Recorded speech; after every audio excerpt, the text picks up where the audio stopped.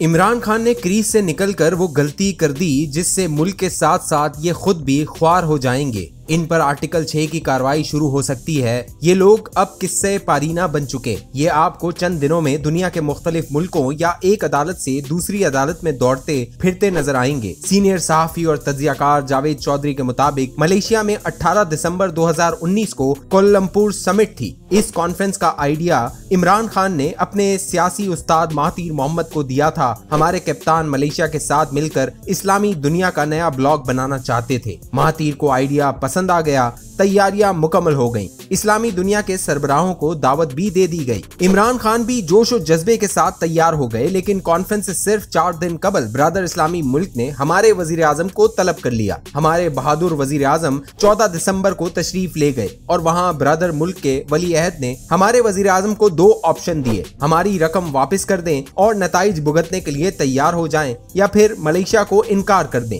और हमारे न झुकने और न दबने वाले वज़ीर आज़म ने मलेशिया का दौरा मनसूख कर दिया। महातीर मोहम्मद और तैयब उर्दवान दोनों ने इमरान खान को फ़ोन किया। लेकिन हमारे आज़ाद और खुद मुख्तार वज़ीर आज़म ने दोनों को साफ़ जवाब दे दिया। ये मलेशिया नहीं गए। वज़ीर आज़म सिर्फ़ यहाँ तक नहीं रहे, बल्कि उन्होंने 21 जनवरी 2020 को डेविस में तैयब उर्दवान से मुलाकात की और उर्दवान को मलेशिया न जाने की वजह बता दी और तुर्क सदर ने ये वजह प्रेस कॉन्फ्रेंस में पूरी दुनिया को बता दी। यूँ हमारी रही सही इज़्ज़त भी खाक में मिल गई और हमने जिस मुल्क के लिए ये खाक चाटी थी, वो भी नाराज़ हो गया। और फिर जनरल कमर जावेद बाजवा को ऊपर तले तीन चार दौरे करके ताल्लुकात बहाल करना पड़े। मेरा सवाल ये है कि क्या ये गैर मुल्की मदाखलत नहीं थी? और हम अगर इतने ही खुद मुख्तार और बावकार हैं तो फिर हमने ये मदाखलत क्यों कबूल कर ली थी? और ये धमकी ब्रदर मुल्क के किसी अफसर ने हमारे सफीर को नहीं दी थी? इस्लामी जमहूरिया पाकिस्तान के वज़ीर आज़म को तलब करके बर कहा गया था और हमने कान लपेट कर इस पर मिनोअन अमल किया था। हमारी बहादुरी इस वक्त कहाँ थी?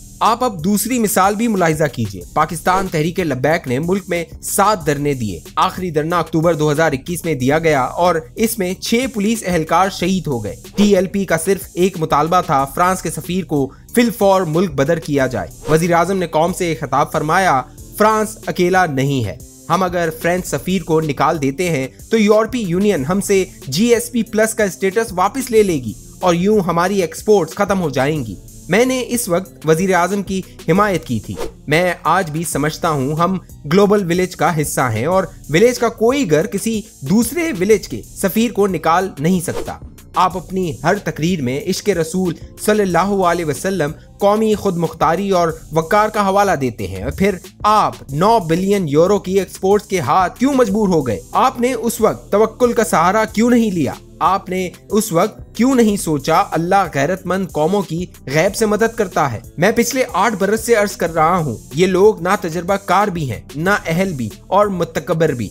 वक्त ने साबित कर दिया, मेरी बात गलत नहीं थी। इन लोगों ने झूठ पर झूठ बोलकर मुल्क तबाह कर दिया। ये लोग हकीकतन इस मुल्क के खिलाफ साजिश हैं। आप 2018 का पाकिस्तान देख लें और 2022 का मुल्क देख लें। ये मुल्क कहाँ से कहाँ आ गया? इमरान खान इकतदार के लिए कुछ भी कर सकता है। आपको अगर यकीन नहीं आए तो आप मौजूदा बहरान ही देख लें। हमारे सफीर असद मजीद ने 7 मार्च को एक मुरासला भिजवाया, जिसमें उन्होंने अमरीकी South and Central Asian affair के असिस्टेंट सेक्रेटरी डोनाल्ड लू से अपनी मुलाकात का अहवाल लिखा। बहरहाल, हमारे सफीर के साथ इनकी मुलाकात हुई और सफीर ने इस मुलाकात का मुरासला भिजवा दिया और वज़ीर आज़म ने इसमें मियाँ नवाज़ शरीफ भी डाल दिया। आलमी साजिश भी, धमकी भी, गैरत भी और पैसा भी। और इसके बाद दे, मार और साढ़े चार। इमरान खान ने जाते जाते अपने छोटे से सियासी मकसद के लिए पूरे मुल्क को दाऊ पर लगा दिया। हमें यहाँ भी ये मानना होगा, इमरान खान ने इस बेजर से मुरासले को बड़ी खूबसूरती से अपने सियासी मकसद के लिए इस्तेमाल किया। इनकी पॉपुलैरिटी में भी इजाफा हुआ और